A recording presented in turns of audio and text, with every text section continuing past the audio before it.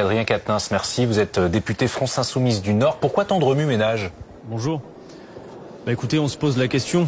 D'abord, euh, je veux adresser un message à toutes celles et ceux qui nous écoutent. D'abord aux 7 millions de Françaises, de Français qui avaient décidé de faire confiance euh, non pas euh, à une personne, mais à un programme politique, l'avenir en commun, lors de la présidentielle, qui est d'une actualité, on voit bien, euh, criante et toujours absolument nécessaire de le mettre en application à côté d'un remaniement absolument rabougri, d'un gouvernement déconfit et d'une politique qui fait perdre du temps à tout le pays. Voilà ce qu'il faut dire. Ensuite, nous avons affaire non pas à une affaire judiciaire, mais à une affaire politique. Et il y a un deux poids deux mesures absolument euh, euh, vérifiable. D'abord, dire une chose. Faites confiance euh, à vos responsables politiques, à ceux de la France insoumise. Nous sommes d'honnêtes gens. Nous avons des comportements vertueux. Voyez-vous, moi je suis jeune parlementaire. Le moindre des tickets de caisse que je euh, fournis pour le moindre journal que j'achète fait l'objet d'un contrôle. On surveille tout. On, Si vous n'avez on- rien à vous reprocher à à la France Nous Insoumise, n'avons rien, justement. s'indigner de, de perquisitions qui euh, sont Alors, totalement classiques dans le cadre du Nous ne- processus nous ne- judiciaire? Non, nous ne nous indignons pas de, perquisitions. Elles ont lieu et nous n'avons pas fait obstruction à ces perquisitions. Nous disons une chose. Nos comptes de campagne ont été validés et avec aucune irrégularité. Vous pouvez le vérifier.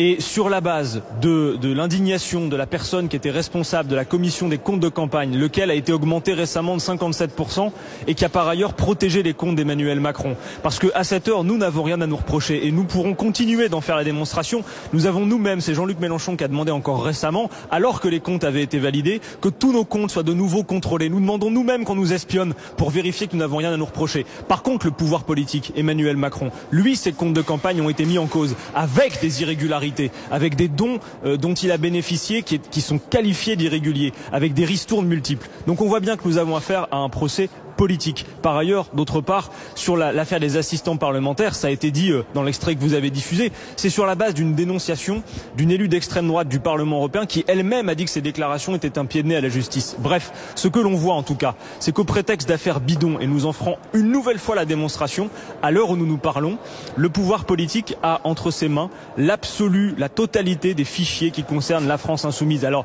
on parle d'indépendance de la justice, on sait que le procureur de, Paris était lui-même euh, euh, envisagé comme potentiel ministre de l'Intérieur. Donc ça pose véritablement question. À cette heure, tout ce qui concerne Ça, le mouvement populaire, la France insoumise, hein. Il a été Pardon, nommé quelle bien rumeur avant. Ah bah, Il a été nommé bien avant euh, que le pouvoir il a en été place, nommé euh, bien avant. ne- en tout cas, il les clés, était. si j'ose dire. Vous aviez dit vous-même sur votre plateau qu'il était pressenti pour être ministre de l'Intérieur. Que, peu importe, la justice fait son travail et nous n'avons pas de difficulté avec le fait, y Le, compris ministre, de nous le soumettre à Premier des ministre a mis en avant l'indépendance de, de la justice. Bien sûr. Et alors, quel, quel, comment jugez-vous alors de l'urgence de procéder ce matin avec à peu près 100 policiers mobilisés sur tout le territoire national. Vous savez, moi je vais vous dire, pour moi qui suis euh, euh, jeune engagé en politique, c'est d'une violence inouïe ce à quoi j'ai assisté ce matin. Tenez-vous bien, j'étais chez Jean-Luc Mélenchon, je suis arrivé chez lui, je vois des dizaines de policiers partout, des camarades nous appellent sur d'autres sièges de la France insoumise du parti de gauche, nous disent, ils ne cherchent même pas des documents a priori, ils prennent des photos des moindres dispositions de nos bureaux. C'est un espèce de scan général